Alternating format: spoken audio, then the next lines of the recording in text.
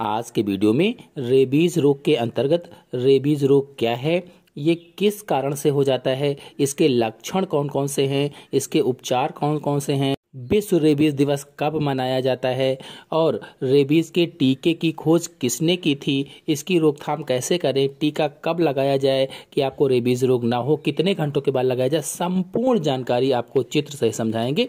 तो पूरी जानकारी के लिए मेरा पूरा वीडियो लास्ट तक देखिए। और यदि अभी तक हमारे चैनल को सब्सक्राइब ना किया हो तो सब्सक्राइब ज़रूर कर लीजिए। चलिए शुरू करते हैं। रेबीज को अलर्क रोग या जलांतक रोग अथवा हाइड्रोफोबिया रोग के नाम से भी जाना जाता है।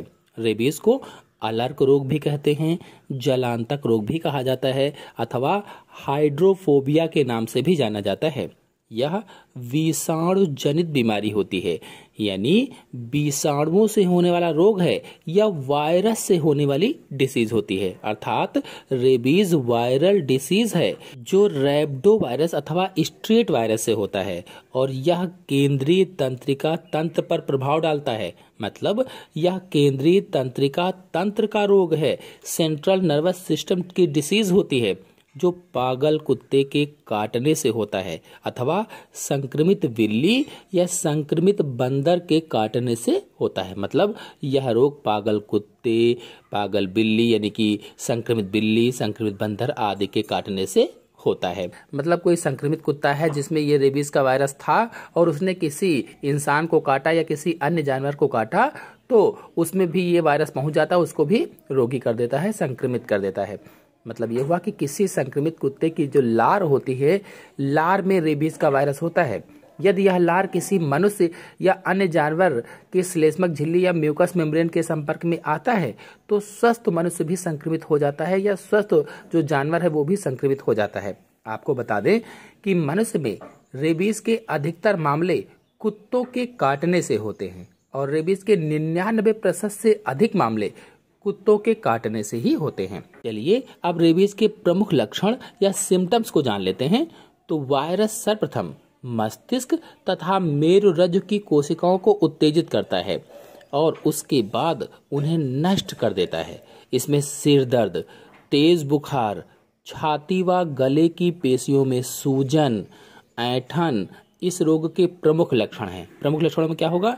शरीर में दर्द होगा, सिर दर्द होगा, तेज बुखार होगा, छाती व गले की पेशियों में सूजन आ जाएगी, ऐठन होने लगती है और इसके साथ ही रोगी को बेचैनी होती है, दौड़े पड़ने लगते हैं, भोजन निगलने में कठिनाई होने लगती है पानी से भी डर लगने लगता है और पानी से डर लगता है, इसीलिए इस रोग को हाइड्रोफोबिया रोग कहा जाता है, क्योंकि पानी से व्यक्ति को डर लगने लगता है अंत में। अतः प्यासा होने पर भी व्यक्ति पानी नहीं पीता है, क्योंकि पानी से डर लगता है और घोर पीड़ा के बाद रोगी की मृत्यु हो जाती है। काफ़ी अधिक पीड़ा होती है और रोगी की मृत्यु हो जाती है। चलिए इसके उपचार अथवा ट्रीटमेंट को समझा देते हैं। देखिए, रेबीज के उपचार की विधि लुई पास्टर ने विकसित की थी। मतलब सन 1885 ईस्वी में प्रसिद्ध फ्रेंच वैज्ञानिक लुई पास्टर ने रेबीज के टीके का सफल परीक्षण किया था। किसने? लुई पास्टर ने सन अठारह में रेबीज के टीके का सफल परीक्षण किया था और इस खोज ने चिकित्सा की दुनिया में एक क्रांति ला दी थी। मानवता को एक बड़े संकट से बचा लिया था। आपको बता दें कि पागल कुत्ते के काटने पर अमुक व्यक्ति को रेबीज वैक्सीन के 14 इंजेक्शन लगाए जाते हैं। अब रेबीज का एक ऐसा वैक्सीन तैयार किया गया है जिसका केवल एक इंजेक्शन ही काफ़ी होता है। आपको बताते चलें कि रेबीज का इंजेक्शन अथवा टीका प्राथमिक स्वास्थ्य केंद्रों सामुदायिक स्वास्थ्य केंद्रों अथवा जिला अस्पतालों में निःशुल्क लगाया जाता है। रेबीज के सत्तानबे प्रतिशत मामले संक्रमित कुत्ते के काटने से होते हैं, मैंने अभी आपको बताया था। और कुत्ते के काटने के बहत्तर घंटे के भीतर एंटी रेबीज वैक्सीन अथवा इंजेक्शन को लगवाना चाहिए। और इस बहत्तर घंटे में वैक्सीन नहीं लगवाने से व्यक्ति रेबीज की चपेट में आ सकता है। जंगली जानवर के काटने पर यदि घाव अधिक गहरा नहीं हो तो उसे साबुन से कम से कम पंद्रह मिनट तक धोना चाहिए। इसके बाद बीटाडीन से अच्छी तरह से साफ़ करें। घाव को ढकें नहीं।